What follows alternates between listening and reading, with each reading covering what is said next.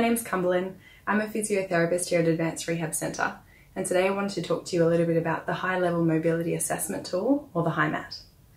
So, the HIMAT was created in 2005 down in Melbourne by a physio called Gavin Williams, when he recognised that there was no outcome measure available to assess high level motor function following brain injury.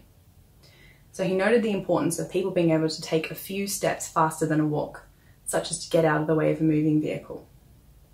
Although the HIMAT is validated in chronic TBI or traumatic brain injury, it's also valid for other conditions such as stroke and Parkinson's disease. For your clients to be assessed using the HIMAT, they need to be able to walk or mobilise 20 metres independently without any gait aids, but with or without orthoses.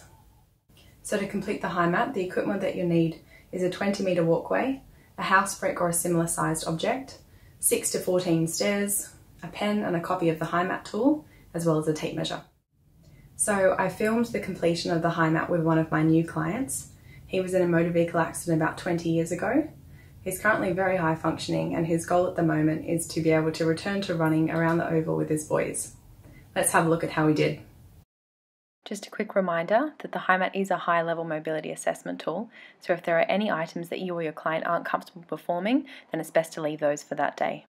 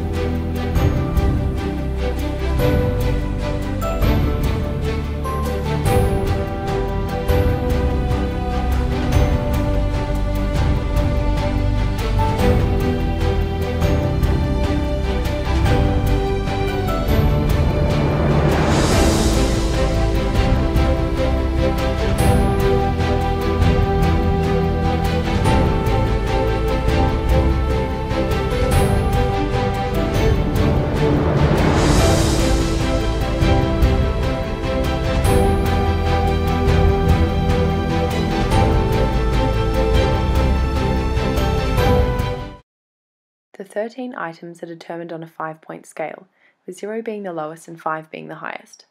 The items are then summed for a total score out of 54.